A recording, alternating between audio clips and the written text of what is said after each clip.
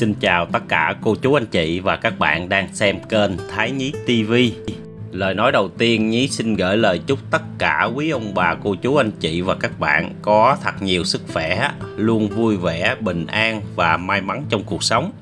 Chủ đề chia sẻ hôm nay thì à, Nhí lại chia sẻ theo yêu cầu của quý vị khán giả. Thì hôm nay Nhí sẽ chia sẻ cho tất cả các bạn à, biết được cái công thức à, nấu sốt cà của bên nước Ý nó như thế nào bạn nào mà thích bánh pizza hoặc là mì ý spaghetti thì à, nhớ phải xem hết clip này để biết được cái cách nấu nó như thế nào. Còn bây giờ thì Nhí xin mời tất cả cô chú anh chị và các bạn cùng vào bếp à, tham khảo cái cách làm của Nhí. Nguyên liệu thì hôm nay à, Nhí chuẩn bị 2 kg cà chua các bạn. Thì đây là những cái quả cà chua Nhí chọn rất là chín. À, như vậy thì à, mình à, nấu cái sốt cà lên thì nó sẽ rất là đẹp. Bên đây thì Nhí có một củ hành tây 250g lá quế tây thì à, nhĩ nhí có 50g à, đặc tính của cái lá này thì nó rất là thơm các bạn. À, dùng để nấu sốt hoặc là chế biến một số món ăn Âu. Dầu ô liu thì nhí có 100ml tỏi thì nhí có 100g cà chua cô đặc như thế này thì à, nhí có một hũ. Thì một hũ này nó có trọng lượng là 200g nha các bạn.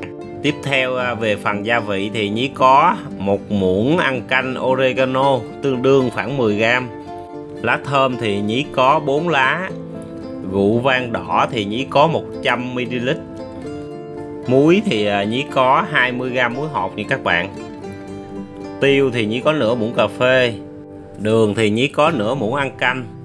Bước đầu tiên thì à, nhí sẽ đi thái nhuyễn cái củ hành tây này. Thì các bạn cũng có thể à, bầm nhuyễn nè, hoặc là các bạn dùng cái loại máy xay hành xay tỏi. Các bạn xay thì nó cũng sẽ nhanh hơn, đỡ mất thời gian của mình đây, bây giờ nhí sẽ thái à, dọc hết cái củ hành tây nè. Sau đó, nhí sẽ xoay cái củ hành tây lại và nhí sẽ thái thiệt là nhuyễn luôn. Để khi mình nấu cái phần sốt cà lên đó về phần mỹ quan nó sẽ rất là đẹp. Về phần công thức định lượng à, lúc nào thì nhí cũng có để rất là chi tiết ở phần mô tả. Anh chị em nào mà quan tâm thì à, vào phần mô tả xem giúp nhí. Còn cái lá quế thì nhí sẽ thái sơ sơ như thế này các bạn. Đây, rất là thơm luôn các bạn ơi. Bước tiếp theo thì Nhí sẽ đi ờ, sơ chế quả cà chua. Trước khi ờ, nấu được cái nồi nước sốt thì ờ, Nhí phải lấy cái cùi cà chua nè. Sau đó Nhí dùng một con dao Nhí chẻ đôi theo hình dấu cộng quả cà chua này các bạn. Để tí xíu nữa mình lột vỏ nè Cũng như mình nặng hột thì nó sẽ dễ dàng hơn. Cứ như vậy mà Nhí sẽ làm hết cái phần cà chua này nha các bạn. Đây nè các bạn, cà chua nhí đã bỏ cùi cũng như chẻ hình dấu cộng rồi à, bây giờ thì nhí sẽ nặng hột nè. Tiếp theo thì nhí sẽ bắt nước luộc và bóc vỏ cà chua nha. Theo cái quy trình mà nhí học được từ một cái anh bếp trưởng người ý ngày xưa nhí đã làm chung với anh đó thì anh đó chia sẻ là cái cách làm như thế này. Thì mặc dù nó hơi công phu nó hơi tốn nhiều thời gian nhưng thật sự nó cho ra một kết quả rất là hoàn hảo nha các bạn rất là ngon luôn. Tiếp theo thì nhí chuẩn bị à, một cái chảo nước sôi nè. Nhí cho vào đây một ít muối và nhí à, cho cà chua vào. À, nhí chần từ khoảng 1 đến 2 phút. Sau đó nhí sẽ à, bóc cái phần vỏ cà chua này bỏ đi nha các bạn. Đây, nhí đã cho cà chua vào rồi các bạn. Khi thấy nước nó sôi lại thì nhí sẽ tắt lửa và vớt cà chua này ra nha các bạn. Đây, cà chua nhí luộc được khoảng 2 phút rồi. Bây giờ nhí sẽ vớt ra và nhí ngâm trong cái thau nước cho nó nguội lại các bạn trong thời gian à, chờ cho cái quả cà chua này nó nguội nè các bạn thì à, nhí sẽ đi à, xào cái hành tỏi lên để tí xíu mình nấu cho nó nhanh các bạn. Nhí cho một ít dầu vào và nhí cho hành tỏi vào à, nhí xào cái mức lửa trên trung bình nha các bạn. Và nhí xào cái hành này trong vòng khoảng 5 đến 7 phút.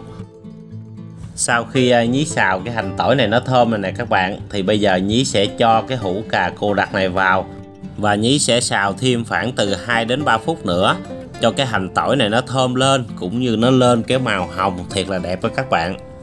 Bây giờ thì nhí sẽ đảo điều tay nè, và nhí đảo thêm một chút xíu nữa là nhí sẽ tắt lửa là được rồi các bạn. Nhí thấy nó đã quá thơm cũng như màu sắc nó đã rất là đẹp rồi.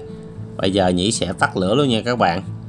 Về phần cà chua thì à, nhí sẽ bóc cái phần vỏ ngoài đó các bạn. Đây, nhí đã bóc xong rồi nè, cho đỡ mất thời gian của các bạn đây, các bạn nhìn không? Cái quả cà chua nhìn rất là ngon luôn. Thì bây giờ nhí sẽ đi xay cái cà chua này ra. Đây các bạn, nhí đã xay xong rồi nè. Các bạn lưu ý, xay cái cà chua này đừng có quá nhuyễn. Các bạn xay vừa vừa như thế này nè các bạn. Nó lợn cợn như thế này nè. Thì bây giờ nhí sẽ cho cái cà chua này vào một cái nồi nấu luôn nha các bạn. Đến cái đoạn này thì à, các bạn nhìn không? Cái màu nước sốt cà chua nhìn rất là tươi và rất là đẹp. Chính vì lẽ đó mà các bạn nào muốn làm sốt cà chua là phải lựa từng trái cà chua đỏ chín à, còn cứng. Thì các bạn làm nước sốt nó sẽ ngon và đẹp.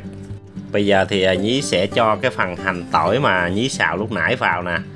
Lá quế tây nè rượu vang đỏ nè một ít đường nè tiêu nè và lá thơm nè.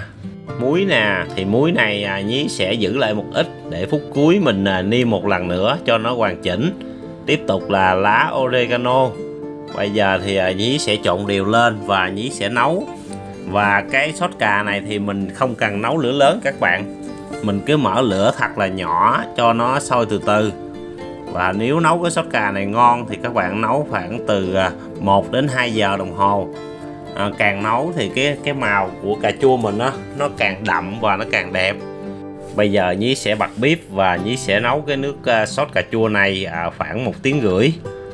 Thì cái nước sốt cà chua này chế biến được rất là nhiều món ăn các bạn. Chúng ta có thể sử dụng làm cái nước sốt để chấm thịt nè à, làm cái nước sốt để chấm một số cái loại bánh giống như là bánh tapas nè hoặc là bánh tortilla nè hoặc một số cái loại bánh của Mexico nè. Bên cạnh đó thì nó có thể làm pizza nè à, mì ý nè và một số món chay. Thì từ những cái video tiếp theo thì như có thể làm một số món chay từ cái loại sốt cà này để cho các bạn à, à, biết thêm một số món ăn từ bên nước ngoài nha các bạn. Nếu các bạn thấy video nhí hay hữu ích thì hãy để lại cho nhí xin một like nè cũng như giúp nhí share những cái thông tin này cho bạn bè người thân mình được xem. Và đừng quên nhấn vào nút đăng ký kênh để ủng hộ nhí nha các bạn để nhí có nhiều động lực hơn chia sẻ nhiều cái món ăn ngon hơn để phục vụ cho tất cả các bạn.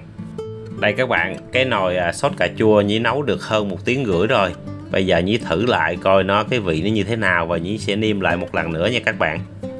Hơi lạ các bạn ơi nhí nghĩ à, nhí sẽ cho hết cái phần muối còn lại vào nè. Và nhí sẽ quậy đều lên nữa là nhí sẽ tắt lửa và nhí sẽ cho gato và mời tất cả các bạn cùng thưởng thức xem cái hương vị à, sốt cà nấu theo cái kiểu ý. Nó có cái hương vị như thế nào nha các bạn. Đây à, nhí à, đã múc ra một cái tô nè các bạn. Nhìn màu rất là tươi và rất là đẹp. Và đặc biệt thì rất là thơm các bạn bây giờ à, nhí à, mời các bạn nha. Cái vị nó thì à, rất là vừa ăn các bạn. À, không quá chua mà đặc biệt thì nó rất là thơm luôn các bạn. Nhí chúc cho tất cả các bạn thực hiện cái món sốt cà nấu theo cái kiểu ý thật là ngon để gia đình chúng ta luôn có những cái món ăn mới những cái món ăn ngon. Còn bây giờ thì nhí xin chào và hẹn gặp lại các bạn trong những video tiếp theo. Bye bye các bạn.